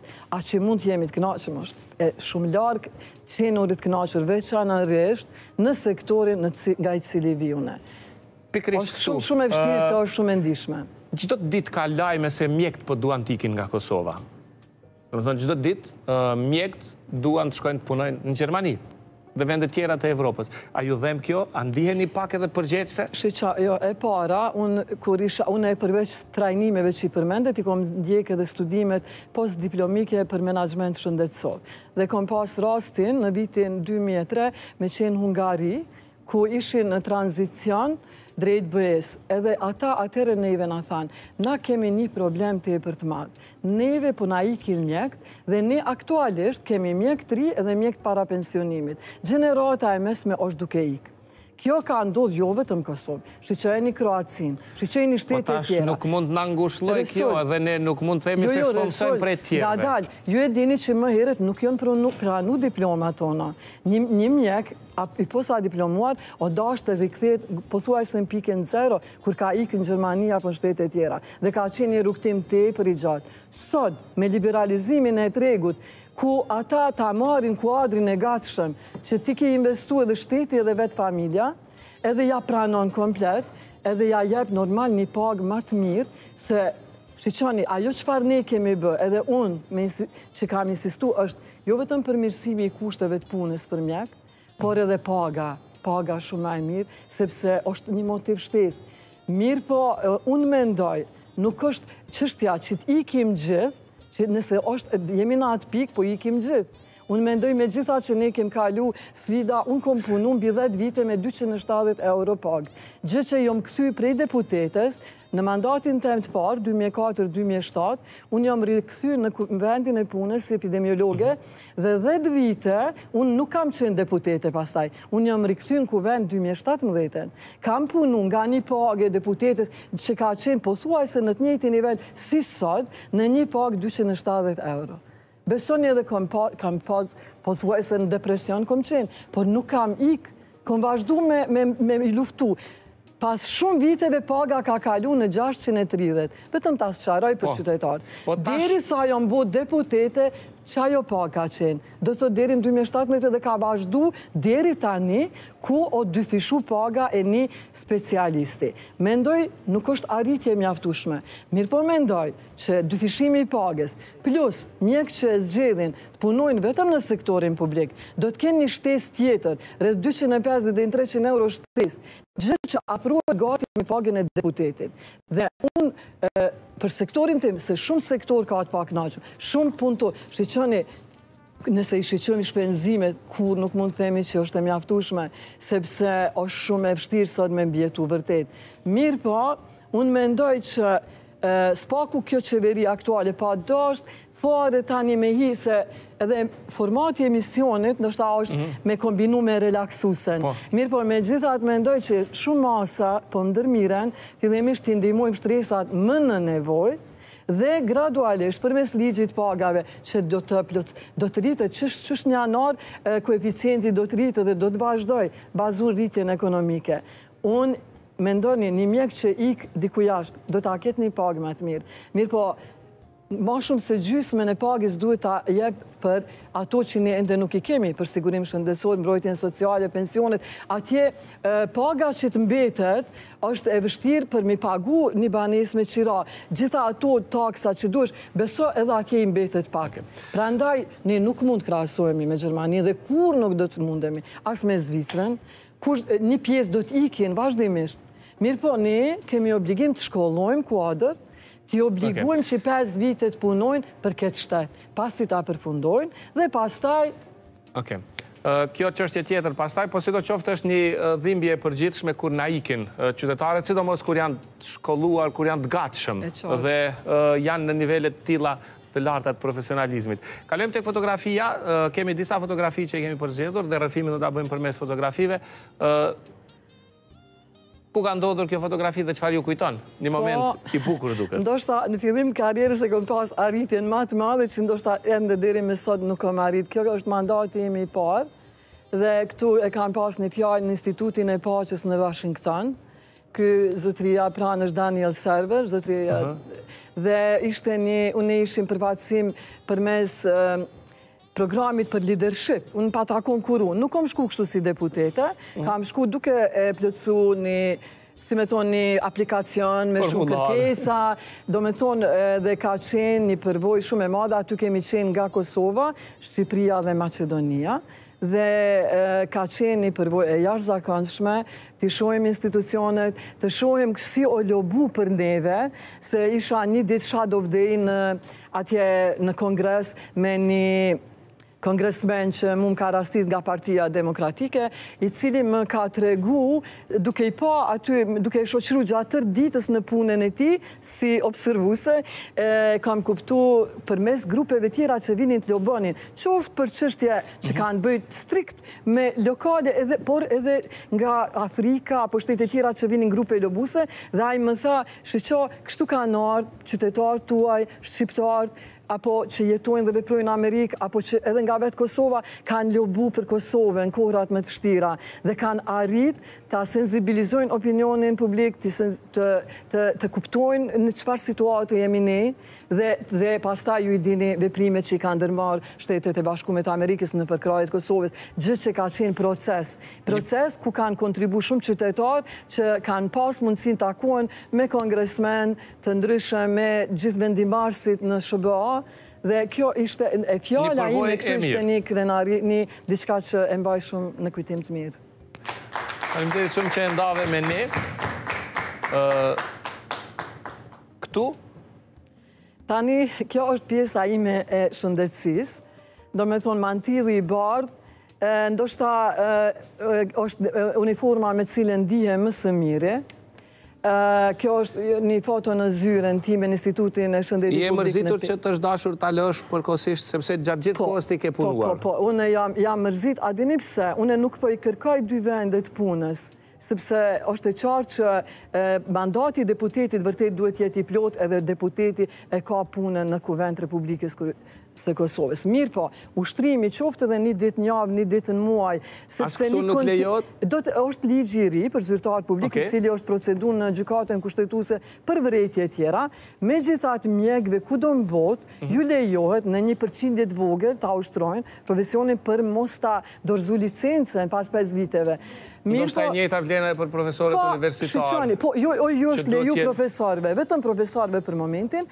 Mirëpo, në Kuvend të Republikës së Kosovës ka deputetë që ushtrojnë në aspektin praksën private. Unë e kam ushtru këtu aktualisht vetëm në sektorin publik dhe jom e vetmja që aktualisht nuk muj me ushtru profesionin, mirëpo unë jam me 100% në këtë profesion, duke qenë kryetare e Komisionit për Shëndetësi, dhe jam 100% me projektligje që procedohen, me plotësim-ndryshimin e tyre, domethonë, nuk jom fare larg nga shëndetësia, mirëpo pjesëmarrja si kjo foto në konferenca me punime që i kemi bërë, dhe ky është një prezentim, mhm. më duket ka qenë në Ohër, Po kemi, nuk kemi pas shumë sponsorizime mbështetje për pjesëmarrje, nga në konferenca fatkeqësisht, më shumë mbështeten njerëz nga Prishtina, nga QKUK-ja, po niveli qëndror dhe mjekë si unë që isha nga Peja, pak ma larg vendimmarrjes, ma pak kom pas mundësi. Urna? Pak e diskriminuar e ndje? Jo, po, shqyqo, ishim qytetet e vogla, pak e kanë ma vështirë me ardhë në shprehje në krahasim me qendrën këtu në Prishtinë, ndërsa në mes është një foto me kolegë të mi në Institutin e Shëndetit Publik në Pejë, aty është drejtoresha, doktoresha Adnora Nurboja dhe gjithë kolektivi që unë i kam më se për zemër dhe është një vend ku ndihna më së miri kur shkoj aty në mesin e kolegëve të mi. Kjo është një foto, prapë që është një krenari e imja, në fakt kjo është një mirënjohje që bashkëshorti im i ndjerë e ka vendosë në kornizë, sepse ka qenë përkrahësi im më i madh në karrierën time politike në veçanti. Domethënë mirënjohje për angazhimin dhe performancën e treguar në ushtrimin e mandatit të deputetit të Kosovës gjatë periudhës janar-qershor dy mijë e shtatë. Po, kjo ka qenë një një shoqëria civile, KDI-ja ka ardhë në Kuvend dhe kanë monitoru punën e deputetëve, pjesëmarrjen e tyre, ngritjen e çështjeve, thjesht aktivitetin e gjithë mbajtshëm.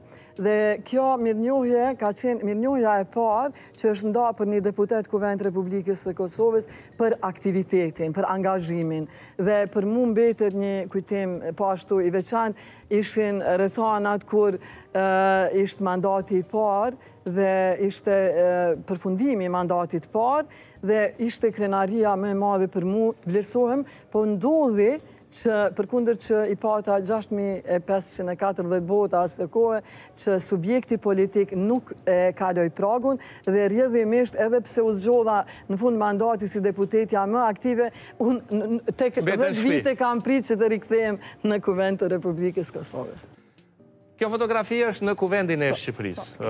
Çfarë kujtime keni nga kjo? Do ta ruaj po ashtu si një ndër kujtimet më të bukura gjatë karrierës si deputete, është takimi i parë i dy kuvendeve në tërësi. Gjithë deputetët e Kuvendit të Republikës së Kosovës dhe deputetët e Kuvendit të Republikës së Shqipërisë në një seancë mhm. të përbashkët ku kanë qenë edhe një pjesë e kabinetit qeveritar, dy kryeministrat, Do të thotë, unë gjithnjë kur e shikoja që qeveritë po takohen, ka qenë dëshira më e madhe që të kemi diçka të ngjashme edhe ne deputetët. Kjo është arritë edhe falë dy kryekuvendarëve, zotit Glauk Konjufca dhe zonjës Nikolla, të cilët me përkrahjen e tyre ka ardhë deri te kjo seancë dhe besoni për mu, kur jam në kuvendin e Republikës së Shqipërisë, është, si me thënë, një knaqësi e jashtëzakonshme dhe nuk do ta ndërroja me asnjë kuvend kudo në botë. Nëse kemi parasysh profesionin e mjekësisë, sa bashkëpunojmë me Shqipërinë? Sa është në nivel bashkëpunimi ndërmjet dy vendeve profesionalisht? Po. Sepse e dimë që shumë pacientë tanë ikin, shkojnë në Turqi apo vende të tjera të Evropës. Shiqoni, ne tani jemi duke, vërtet duke i forcu këto raporte edhe sa i përket shëndetësisë, me nënshkrimin e disa marrëveshjeve, një prej tyre është edhe njohja e specializimeve, tani edhe njohja e diplomave, domethënë dy ministritë, Ministria e Arsimit, Ministria e Shëndetësisë, fillimisht që ne të kemi, mos kemi barriera, mos kemi nevojë nostrifikime diplomash, në mes dy shteteve, sepse ne, Nëse jemi një, ne edhe pse aktualisht kemi kufi, mirëpo ato kufij ne mund t'i zbehim në atë masë që mos kanë edhe fare rëndësi në bashkëpunimin mes dy shteteve. Çështja tjetër, gjithnjë jam angazhu për qendra referente, sepse për shembull një kardiokirurgji të zhvilluar ta kemi në Kosovë, apo një onkologji në Shqipëri, ku që do të mund të shërbenin si qendra referente Pra, ne... Pra, të njëri vend tjetë polit, themi, po, po, ose... Po, po, ma ndek me shërbime dhe tjera në të dy. Po, të janë për ma të avansume, sepse shumë prej shërbimeve fatkeqësisht, ende siç e përmendët qytetarët, ende për disa prej shërbimeve duhet drejtohen në institucione tjera. Dhe është e ma e mira, është që nëse ne si Kosovë ende nuk jemi në stadin kur vërtet mund t'i ofrojmë bashkë gjitha shërbimet, në shëndetësi së paku të jemi me marrëveshje me Shqipërinë, që t'i kemi, t'i zhvillojmë disa prej tyre në njërin apo shtetin tjetër duke i mbështet të dy qeveritë. Po, po, kjo është e mundur. Sepse e dimë që në Shqipëri ka mjekë nga Italia, nga Greqia shumë, tek ne vijnë nga Turqia, vende tjera, mirëpo sikur ne nuk shkojmë shumë dhe të Shqipërisë nuk vijnë mjekët shumë. Interesi kryesor është që ne t'i forcojmë raportet me Shqipërinë, ta zbehim siç thashë rëndësinë edhe atë kufi fare ta zhbëjmë, ta quaj në kuptimin e siç prej abetarës, e deri te siç thashë te shëndetësia dhe sektorë tjerë, kjo është e mundshme, kjo po bëhet, gjithë këto takime që po ndodhin mes qeverive edhe në mes kuvendeve, janë pikërisht për këtë qëllim, Ne ishim edhe në një vizitë komisioni parlamentar kthyese në parlamentin te komisioni homolog, ata kanë qenë vitin e kalum në vizitë, edhe atje shkëmbyem shumë përvoja, vizitum institucione të rëndësishme dhe po e shohim si disa prej përvojave që ata i kanë më të mira t'i bëjmë edhe ne në Kosovë. Faleminderit shumë. Përsëri aktive, përsëri për një kauzë. Po, po. Kjo unë vetëm e kom, e kom propozu, këtu po shihen gjitha deputetet, pa dallim subjekteve, ne, kur bëhet fjalë për kauza të ndryshme, siç është barazia gjinore, luftimi i dhunës, çfarëdo lloji, kanceri, qoftë i gjirit, qafës mitrës, e tjera, e tjera, për këto kauza ne vërtet s'kemi dallime, dhe shpeshherë grupi i grave deputete që funksionon në Kuvend të Republikës së Kosovës, Kur bëhet fjalë për disa prej ligjeve apo shtyrja në buxhet për ndonjë aparaturë të caktume apo të ndahet më shumë buxhet për një sektor apo për diçka të veçantë, ne shpeshherë jemi bashkë dhe mundohemi këto barrierat në mes subjekteve po ashtu t'i zbehim apo t'i tejkalojmë kur bëhet fjalë për një interes më të madh publik. Faleminderit. Në këto kauza ju zakonisht synoni zonat rurale. Sepse po. në qytet janë më afër spitaleve dhe më afër teknologjisë. Pse akoma vazhdon të jetë në Kosovë një diskrepancë e tillë një dallim i tillë. Nëse e shiqojmë tash për shëndetësi në shumë prej fshatrave, sidomos ato me atë mdhaja, qasja në shërbime o shumë ma e lehtë se sa ma herët. Ka shumë qendra t'mjeksisë familjare që janë shumë afër shtëpiave të qytetarëve edhe në zona rurale. Por, fatkeqësisht, shpeshherë ata mendojnë që shërbimi më i mirë o n'qytet. Dhe për shembull, po marr shembull mhm. qendrën kryesore të mjekësisë familjare në Pejë, e cila është e mbipopulluar me pacientë që vijnë nga zonat rurale, përderisa e kanë edhe qendrën e mjekësisë shumë afër. Shërbime të njëjta, të njëjtës cilësi. Ndoshta pak mungesa edhe e mjekëve familjarë, specializimit të mjekësisë familjare sepse nuk ka qenë shumë interesante për mjekët e rinj, unë mendoj që kjo duhet me ndryshu, sepse mjeku familjar, kur fillon zbatimi i mirëfilltë i ligjit për sigurim shëndetësor, do t'jenë ata të vetmit që kanë do ta ordinojnë pastaj një pacient te një specialist, përndryshe do t'ishte shumë e kushtushme me shku pa udhëzim. Thjesht mendoj që, po, patjetër që në zona rurale, siç thashë unë jam mjeke, e zonave rurale shumë ma shumë si epidemiologe sepse ata pacient për edhe epidemitë, parandalimi i përhapjes së epidemive, edhe n'pandemi, siç ishte, ne shumë ma shumë vazhdimisht jena në zona rurale, se sa në qytet, sidomos ne që jemi... Dhe bëni mirë, sigurisht.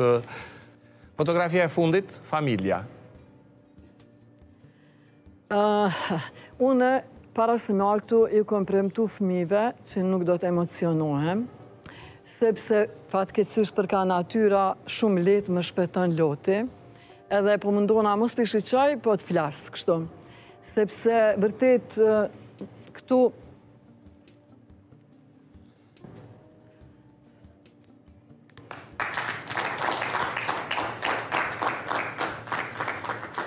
Nëse s'pengon veç pak. Në këtë foto, në këto foto mungojnë disa prej personave më të dashur. Dhe normal që Familja është mbi të gjitha, prap. Unë fola për shëndetësi, për politikë, krejt, po mbështetja kryesore është në familje. Duke fillu prej familjes ku kam lindë dhe jam rritë, përkrahja e prindve, si do tash nëse dojmë me shiku ka gjinia mashkullore, sepse ne ende jemi duke luftu që ta kemi mbështetjen sa ma të madhe t'bab, baballarëve, vllezërve, pastaj bashkëshortëve, djemve, sepse ne si nëna duhet ta bëjmë këtë, t'i edukojmë që t'i përkrahin motrat, nënat, gjithë vajzat dhe gratë në shoqëri. Dhe unë, siç e pata fatin, që të rritem në një familje që tri vajza kemi, jemi, dhe një vla, Që të përkrahemi shumë nga prindërit.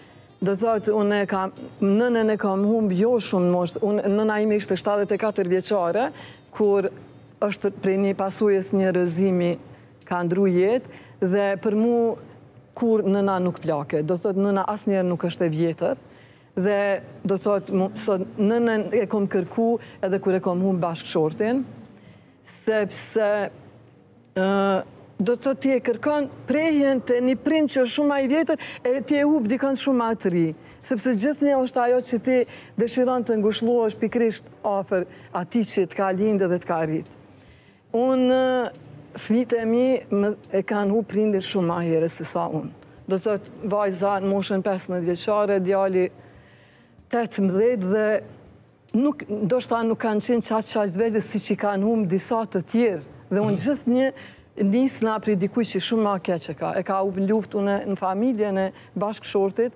Kemi dy kunata që janë t'veja, pikërisht nga lufta, ku i kanë lënë fëmijët edhe shumë ma të vegjël. Domethonë, doktor Shpëtim Robaj është njëri prej, dhëndri i familjes dhe tjetri është Emin Basha. të cilët i kanë lënë fëmijët në 5 vjeçarë për shembull në moshë. Dhe unë nuk isha, si me thënë, kur edhe fëmijët e mi ishin në moshë shumë t'ndishme, nisesha nga fakti që ka pasë edhe më keq. E unë mendoj ma e keqja kur një fëmijë e humë nënën, sidomos kur është shumë i vogël. Unë vuaj për çdo fëmi që o lindë dhe që e ka humë qoftë në lindje apo më vonë, sidomos nënën. Sepse më besoni, Kur e kom humb bashkëshortin gjitha forcat i kom vendos që këta fmi mos me e vrejt atë humbjen e madhe. Dhe kjo ju ka bërë që ju të bëheni edhe nënë edhe baba njëkohësisht. Si po ia dilni? Si ia dolët po, gjatë këtyre viteve? Unë fatmirësisht ia kom dalë ndoshta ma lehtë se shumë gra tjera. Domethonë n'aspektin material e kem pas shtëpin, mhm. unë e kam pas një vend pune, Mirëpo, mirëpo fëmijët kanë qenë n'moshë të ndishme dhe kanë humb një baba ideal. Një baba që unë ju them, unë edhe sot e kësaj dite ju them shiqo, unë as nuk du me ndëgju që ju nuk keni babë, se edhe unë e harroj, sepse ju aq shumë keni pas babë, aq shumë, Krahasu me fëmijë që ndoshta ju punon prindi diku jashtë, nuk kanë rast të rriten me prindin, sepse ka detyru situata me u largu nga vendi.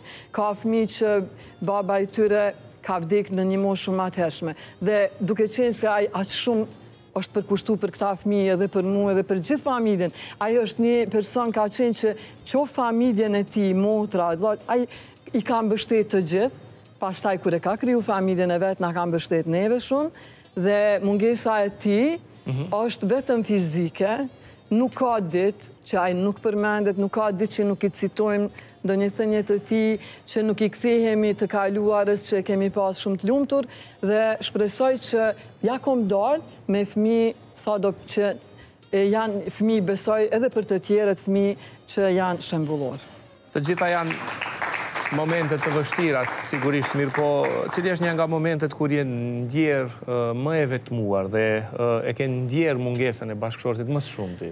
Shikoni, jeta, jeta si e, unë e kam thënë, mos na raftë me haru, është një fjalë popullore, një vit pas humbjes bashkëshortit e kam pas një sfidë shëndetësore, edhe atëherë kam thënë, Kupto që jeta mund të jetë shumë edhe më e vështirë dhe atë e kom kalu në heshtje, ka qenë sfida ndoshta më e madhe e jetës time.